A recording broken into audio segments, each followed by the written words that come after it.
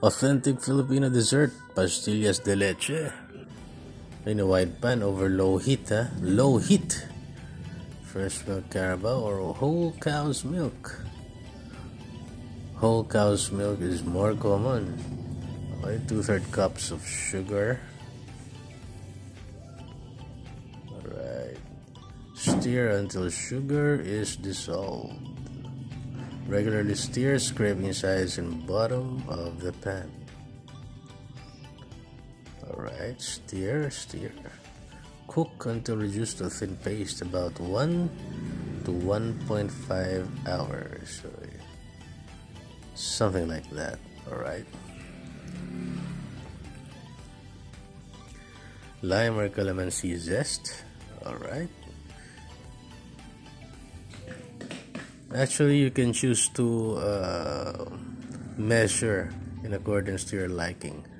Butter, preferably 2 tablespoons, 3 4 cup of full cream.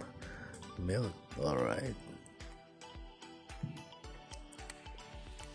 Stir, stir, cook until mixture pulls from the sides of pan about maybe 3 to 5 minutes. Maybe it'll take longer depending on the strength of your fire and then it will turn into something like this. The sticky deliciousness. Transfer to a lightly oiled plate. Okay lightly oiled meaning the plate has some oil. Right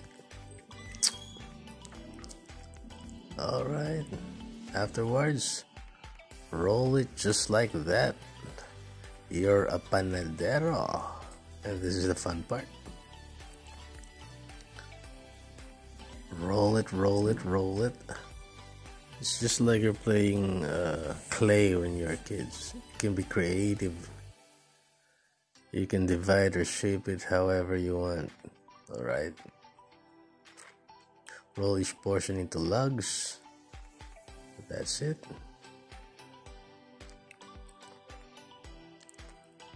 Alright. Maybe you can ask your kid, kids to help you with that, or your girlfriend, boyfriend, grandfather, mother, father, grandmother. Alright. So prepare sugar, Japanese paper. There you go. Roll it, baby.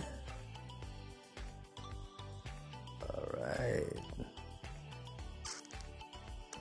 Roll it, baby. Roll it, baby. Roll and twist. Roll and twist.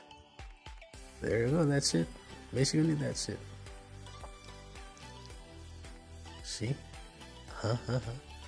Then roll some more roll some more. If i if if i'm doing this i can't i would not be able to control myself.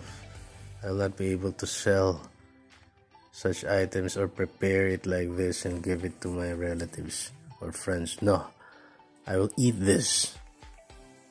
I will eat this. And I will consume it.